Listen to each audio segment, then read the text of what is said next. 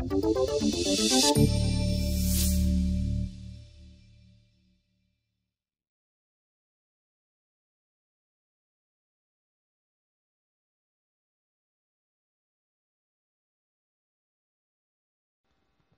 there's uh, been warnings errors or uh, exceptions that dealing with with uh, being a sysadmin.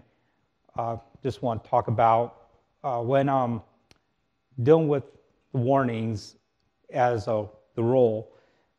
We have things that deal with ATMs that come in with transactions, and there's been one evening where we have a role that we do while we're on call once a week, and transactions come in. And when queues build up over time, uh, we have to monitor this stuff. And we have a manual process that we uh, look at. And when this queue gets over the limit in time, uh, it's kind of difficult to monitor these processes. Uh, thing about it is there has to be a way that we can automate these processes rather than doing it manually. Um, and that's what we're kind of trying to look at. So if you're like me, somebody that has anxiety, sometimes when you look at errors like this, uh, sometimes you can freak out. So, so we try to avoid things like this. And which leads me to the, uh, the title of this uh, presentation, SQL statement data gathering. So why should you care about this? The thing about it is you may not, with your roles in computer or in IT, you may not have anything to do with ATMs, transactions, or anything like that. But the thing about it is, uh, not really difficult processes uh, to do, but the thing about it is if you can kind of look at these processes and how to go about it rather than connecting to databases directly. There's things about things that in our environment, people try to do things like, for example, web scraping, um, go about getting to their data differently, where there's easier ways of doing it, especially from operations standpoint. They, it's easier if you have access to the source. For example, going directly to the database. And that makes things a lot easier if you have that sort of access. Uh, another thing is, well, I think, is when I started using PowerShell, I used to create a lot of PS1 scripts. And there's nothing wrong with it if it's just a few lines, but now I rarely ever create PS1 scripts. Almost anything I create, especially if it has multiple lines, I create modules uh, for readability, testing, things like that. Um, I know I got a lot more I can learn from PowerShell, but anymore I create modules. And a lot of people in my, uh, or in the company that I work for, they don't create modules. But if we can kind of lead people in that way, I think that we can be better off um, to kind of get people learning more of how, how better create scripts for their PowerShell. Uh,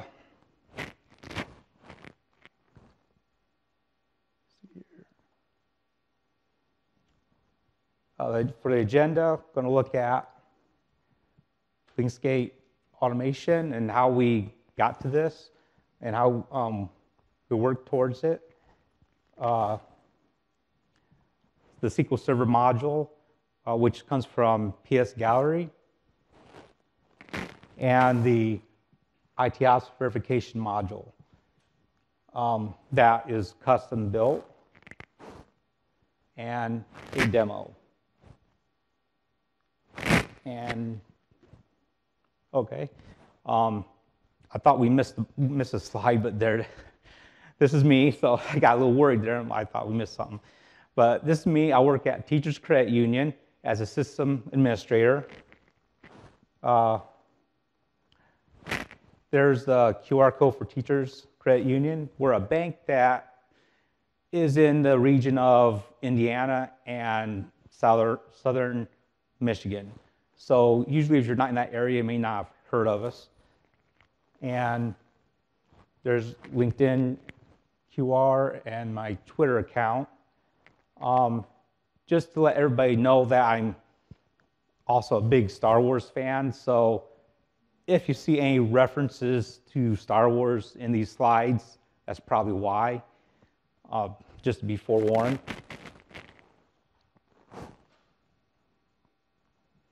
Uh, there's a GitHub repo where I'm going to put all the slides at. And here's the, just give recognition to Teachers Credit Union because they so uh, generously helped pay my way out here to uh, the PowerShell conference. Um, system administrator role, they play, just kind of go through these fast because they play, they kind of have a, they have a, they kind of have wear a hat of many roles, uh, usually level two support. Uh, if something's like more, no, needs a little bit higher level, we pass on to engineers level three, but usually we pretty much do a little bit of everything, where it's networking, applications, processes, databases, a little bit of everything. But one of the main things we do is monitoring, whether it's ICMP, ping, uh, monitor ports, applications, things like that. Thing about ATMs is we can ping the ATM, monitor ports to make sure things are up. But what if uh, people aren't getting their transactions? We, they can get, we can make sure people are getting their transactions or the money, but even though ATM is up, we can ping it, the ports are up, doesn't mean that it's working. Uh, for example, there's a queue. Say, for example, like if the queue is building up and is pingable and the port is pingable or open, I should say, uh, it could still be down. One example is if we're doing upgrades, right? So one night when it was doing an upgrade, it's down, and you know had to follow up, see what's going on, and this other sysadmin said he was doing, you know, an upgrade, but once we uh, figured that out. You know, um, the upgrade was finished, and then queue started going back down again. So that's one, one example, but that's okay. But there's, for example, if it was, you know, not the case, then that's an issue that we got to look at. So, so what we're looking at is transactional data, which is data in the database that we look at. For example, if uh, that queue is building up, that data is in the database we just got to get to. So the problem that we're looking at is monitoring ATM transactions. Possible solutions is, I'm sure everybody has a third-party utilities that you can look at. One possible option was Automate that we have, which is basically a third-party utility.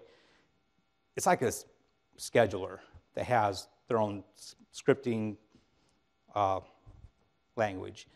The thing about it is, is that we're not really we use it mostly for FTP, moving files around. And we don't have a, uh, a license for the PowerShell part, but there's always ways working around that. But I didn't really want to go that route with Automate, um, since we mostly use it for FTPs type stuff. We monitor things with slower SolarWinds, and we could use PowerShell for that. Uh, usually the things we do with SQL with that is uh, you know, monitoring, we, if you send an SQL query, usually you get a true back if it succeeds and a false back if it fails. But it's not like getting the data back that you'll want. Uh, there might be other advanced stuff you can do with it if we have that, but that's not my knowledge extent with the SolarWinds SQL stuff. And then we have UiPath, um, which is kind of funny because that we have UiPath because the other day, I was just walking around town in Seattle, and I just noticed that there's a UiPath sign up. So I don't know if that, that's their headquarters or something, but I thought that was kind of humorous. But we have UiPath, and they do a lot of window scraping and REST API type stuff. And um, but we have a whole department that does RPA, but didn't go that route. But then we have PowerShell that we can just connect directly to the database. Not saying we couldn't use these other tools, but at the time, PowerShell was just the easiest way to do things. Now here's the Linkscape interface. This is the interface that takes care of all the ATM transactions.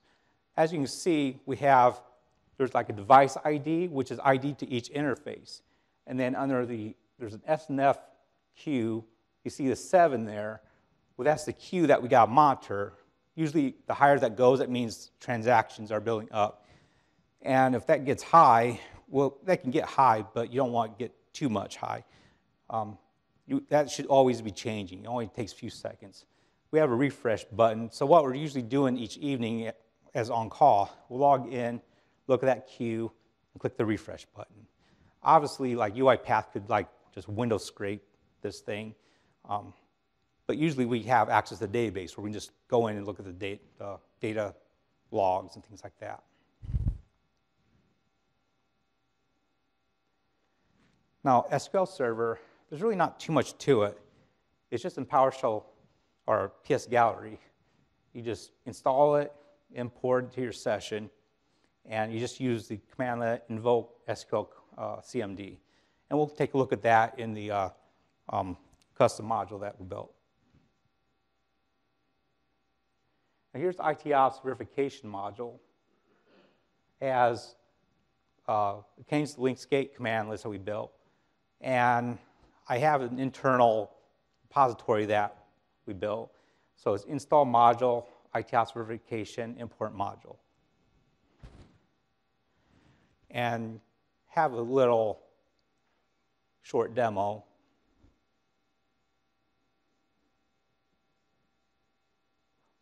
Hopefully this will go okay because trying this for the first time,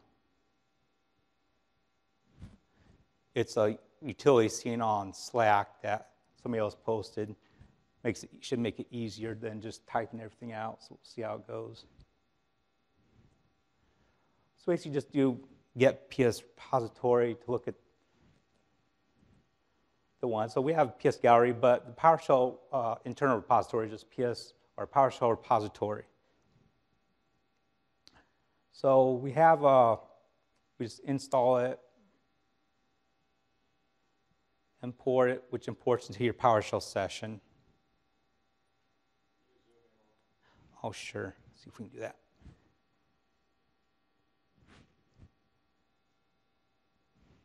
Figure out how to do it here.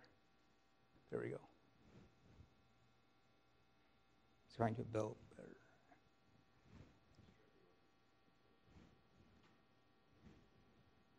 I had it going there.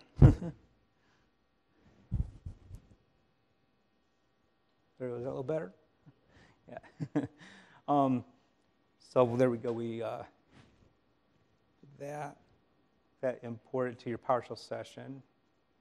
And there's all the functions or uh, modules for the uh, verification. We'll go through each one, but most of them are for the interfaces for Linkscape. So most of them, once you see one, they're all the same. They're just going to a different interface, basically. So. And that's just end of this short demo. Um, the main demo is towards the end. We'll see more. But let's see here. I just gotta find my mouse.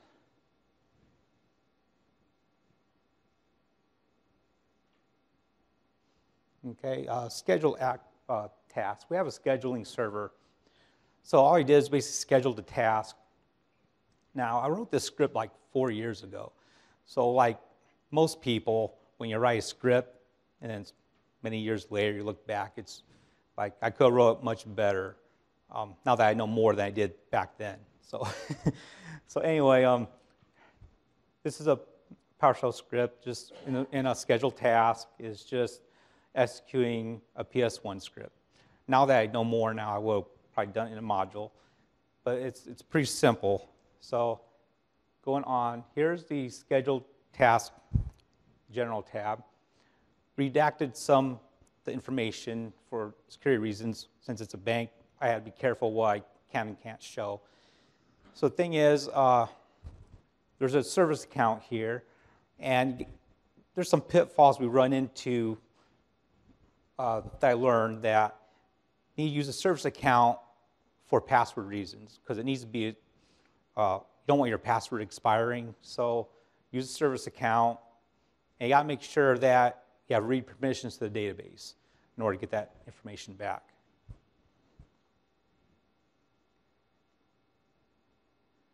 Okay, Linkscape service account. Um, put, just put in some generic data here. Of course, uh, stump.locals uh, domain name. Uh, this is one thing that I've had to remind people where I work is the Bruce, this is a long username, just a funny generic name, is the new uh, the new logon format. The Bruce, this is a long user, is the short naming format in Active Directory. You gotta be aware of that because some people, when you create an Active Directory user account, that a lot of things use the old uh, naming format. So if they're using the new name long format, which might be over 20 characters, and they're saying, I can't log in because it's saying wrong username or password, it's because they probably need the short name. So then you just gotta say, instead of using Bruce, this is a long username, you gotta use Bruce, this is a long user, or the short version of whatever that is. So which the short uh, name uh, goes with the SAM user account. So, and that's my team's picture with Wookie. So, but uh, if you look at the uh, Active Directory in PowerShell up there, it's uh, same thing as the SAM account, SAM account username. So.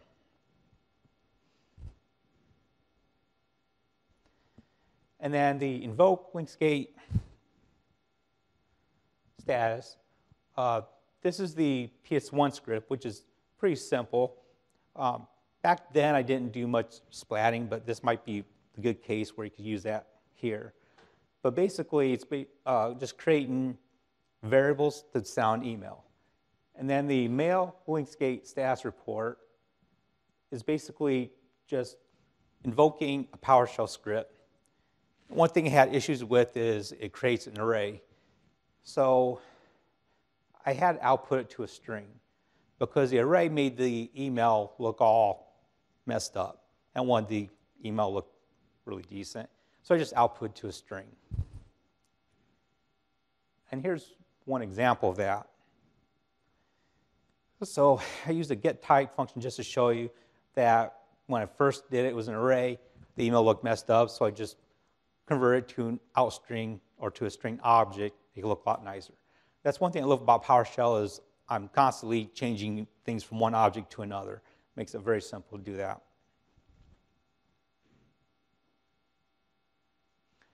Another thing you gotta be aware of when doing the process like this is when you're in a PowerShell session, you gotta import it. But when you're doing a pro making a process, you gotta make sure you put it into your profile. Now, I didn't mention it earlier, but uh, I have PowerShell 7.3 on my desktop.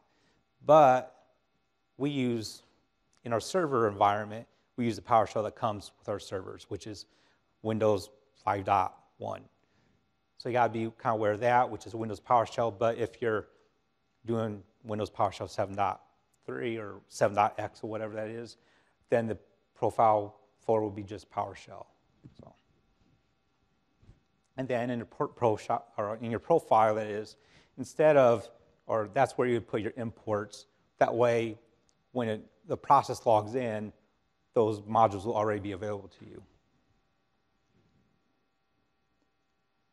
Here's your Linkscape status output that I showed you in that PS1 script. All it's basically doing is just executing each module. Um, it's basically just as simple as that. And then when we go to this is the only module that's really different than the others. Once we get to the others, it's basically all the same. So here, just a module. We're just creating two variables, none, because if they succeed, then it's just going to be none. But if there's error, then we're going to put the data into it. So basically, we got we're executing that invoke SQL command with the database server and query.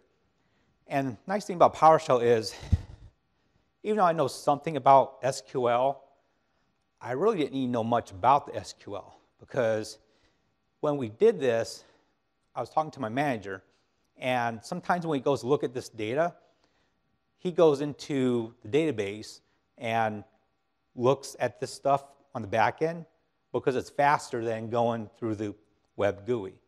And sometimes when there's issues, instead of like doing refreshes and waiting for it to come up, he'll just go to the database and do a quick query. And he was showing me one day. So what happened was he was showing me the query, and he already had this SQL built. So I didn't even have to write any of this SQL. I just thought, well, he already had SQL, and he gave me or showed me the SQL. All I had to do is write the PowerShell script around it. I just had to add the, the SQL to it. So it, not that it didn't take a while to write, but I didn't have to do any of the SQL stuff. I just had to understand it. So I just added the SQL, make sure it made sense. And the thing about it is, the only really important stuff is that we have the date because is for the last 24 hours here. As you can see, 20, last 24, well, dash one, which is last day. And because we want the last 150, anything over 150 records. Because that means anything over, anything that's more than 150 in the queue. Because that's in the Linkscape where you've seen that seven, that's how many are in the queue building up. So that's the important thing, which is in that if statement. Linkscape data that dot count greater than 150. Then we just put in a for each statement, and then now we're looking at the operation date time. That anything that's in there for over 24 hours. So basically, we're just looking for anything in the queue that's over 150 in the queue, or the next Linkscape data for each object, anything that's in there for over 24 hours, because we're looking at two things, you know, over 150 in the queue or older than 24 hours, because they should not be in there that long.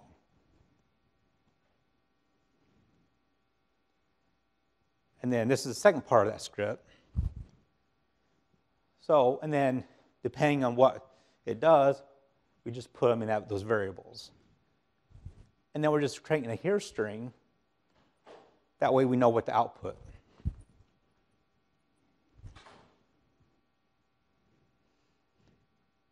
Okay, and here's sample email is what we should get. Here, Linkscape status be 9, none, for the 150, an error, none. That's if everything works out okay. The one on the right would be like an example if there was an error. So, of course, Linkscape error for over an hour means that everything's good because it's none. But the uh, warning above it with over 150 in queue means there's an error issue, but with 253 in the queue.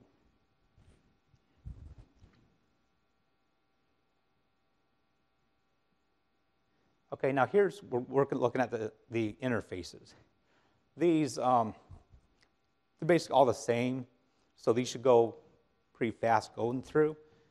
But the thing about it is, the, the key about it is the date and the device ID. So here, the date is older than five, because if you look at the date diff there, it's over five days, but the device ID is 82, because each, each interface has a separate device ID. And then at the bottom, we're invoking SQL command and querying that here string, which is SQL, looking for that device ID.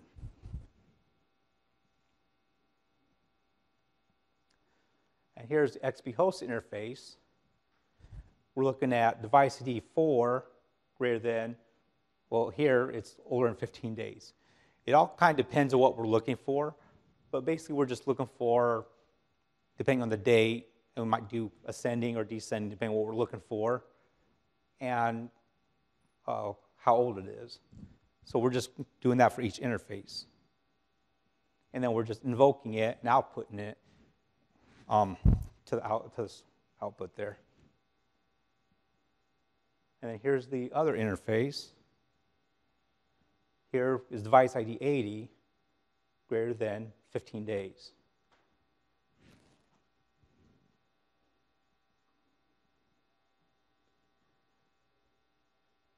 And here's this one, device ID 105. And all these are pretty much the same, just walking through them. This one's device ID 103, greater than or the last 15 days, within the last 15 days there. Same thing here. So it's a pretty simple process once you get going.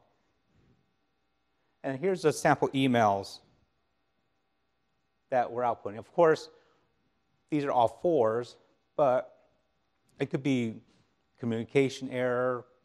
There's a lot of different errors, and we'll look at those from the database table.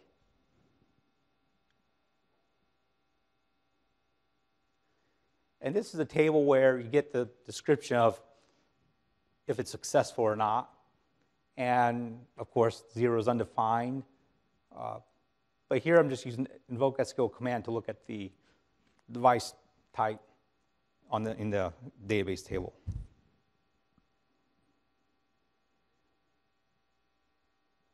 And for notifications, this is a thing. For a while, we used to use, we used to get text messages, and then that became an issue with, I'm not sure what happened, if it was some policy or something that stopped us from getting text messages within our environment. Uh, but then we just started manually logging in, doing this manually. But then when we started using PagerDuty, which made it a lot better. So with PagerDuty, not only do we get, actually we get push notifications because that, we have an app on our phone. And when basically it sends an email to PagerDuty and when there's an alert. And PagerDuty sends us a push notification. That push notification can you, well, there's different ways it can alert us. It can send us a push notification. It can call us on the phone. It can send us a text. It can send us an email. There's a lot of different ways, things it can do. And then not only that, uh, if we don't respond, what it does is it can wait five minutes and send it to us again. If we still don't respond, we have like a backup person, then it sends it to that person. And depending on how we have it set up, it might send it to them again. If that person doesn't uh, respond, then may send it to our manager, which is good because then we know somebody's going to respond if there's an issue.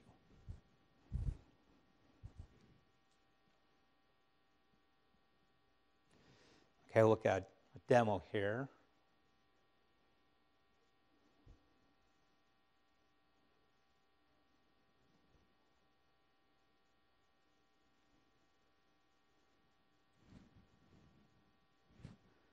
Now, before when I started doing this, I did it in, we're really limited to what we can and can't put on our laptops for security reasons.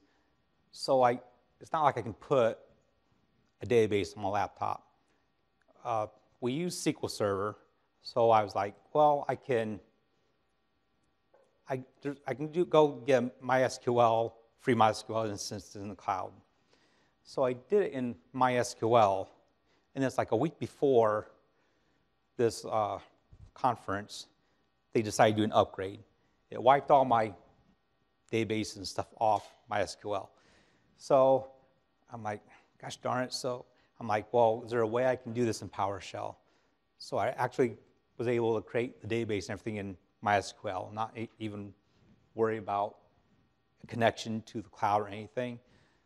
So I thought that was kind of neat. Maybe if we have time, we can kind of take a look at that. But let me see if I can expand this a little better.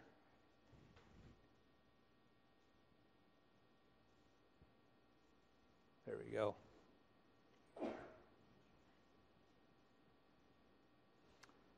Okay.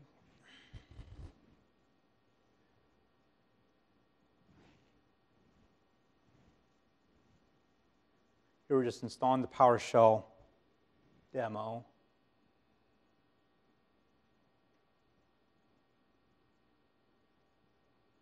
Here's all the functions for it, and we're going to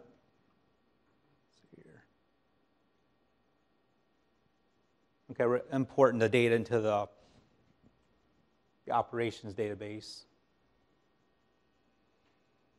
Originally, I wrote this for Windows 5.1. I was able to get, actually didn't have to do anything to make it work in 7.3. I just tried it in 7.3 and it worked.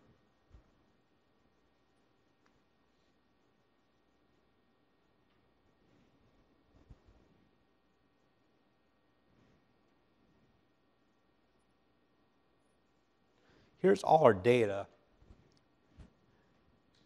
Let's see here. I don't know if I can. It's a little difficult when I'm looking on a different screen.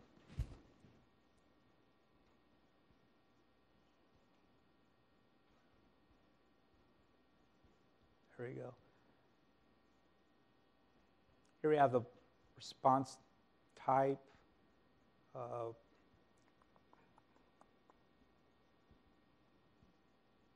we can get smaller. There we go. Yeah, that's all our data. And.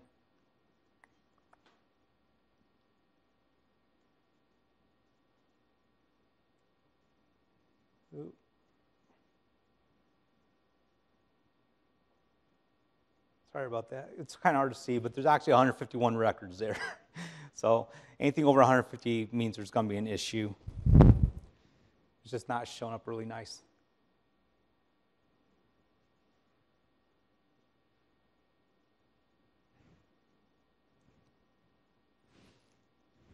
Here we're updating the uh, device log. Basically, just updating the database so that we can actually execute on, on the transactions.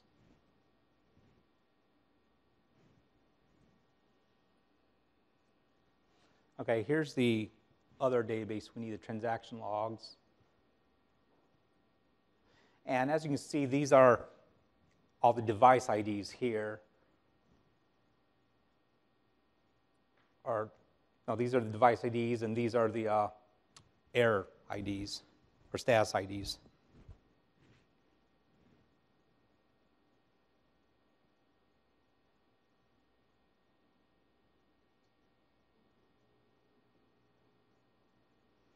And instead of creating ta- uh, actual data table for the status IDs, I just did it quicker. I just created a hash table.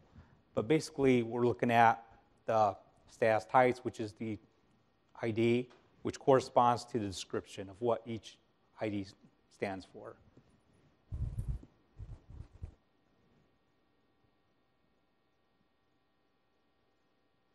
Okay, this is when we send an email, this is what the first module is doing. So we have Linkscape SNF queues 151 with uh, the second warning and the errors.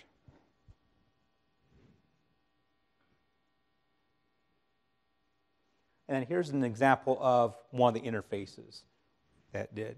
So the next one should do everything all together instead of going through each interface. We'll just, I did one, I'll just do it all together. And this is everything all at once.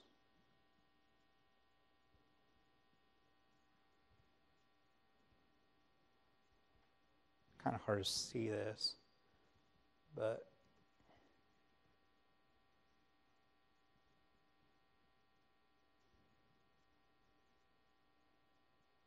Yeah, and there's the, the first part of the output.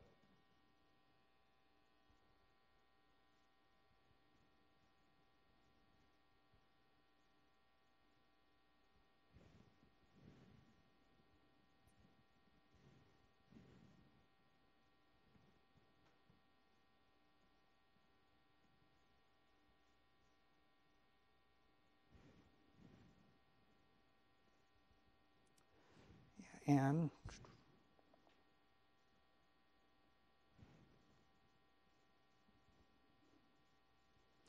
just got to find my mouse here.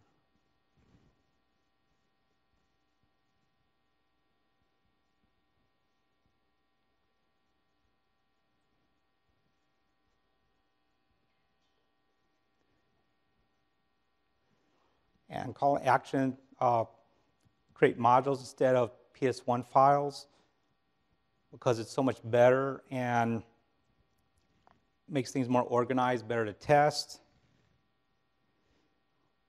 And consider using PS uh, PowerShell to connect to databases rather than using third-party utilities because it's more efficient. Um, sometimes just better than going another route if you're using web scraping, whatever that is. Uh, had one other thing really quick I wanted to show real quick.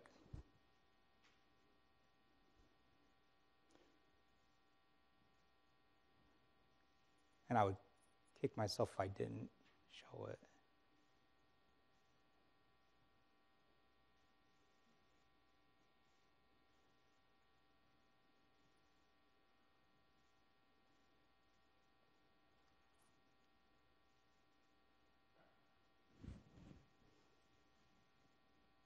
Or this might make. Here's this uh, demo top process that just kind of shows the transactions coming in in real time. It's a test. Um, there we go, that might be easier to see.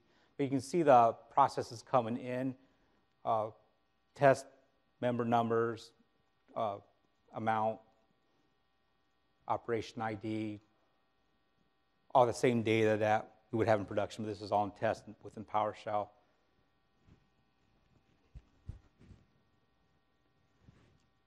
And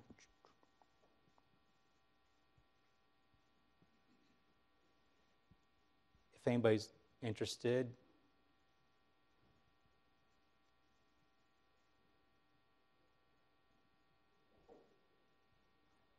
with the code.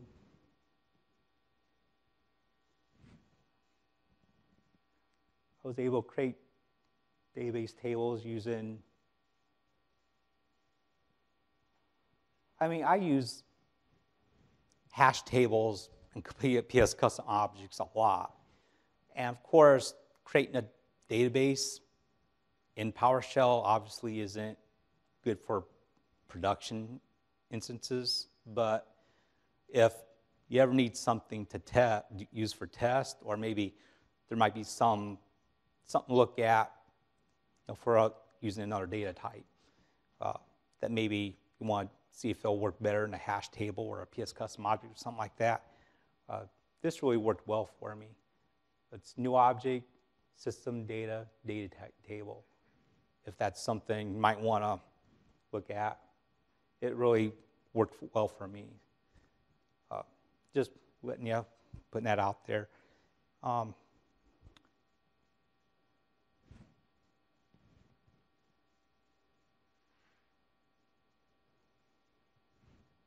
and that's all I got. Yeah, if you don't mind, I want to get a selfie, so real quick.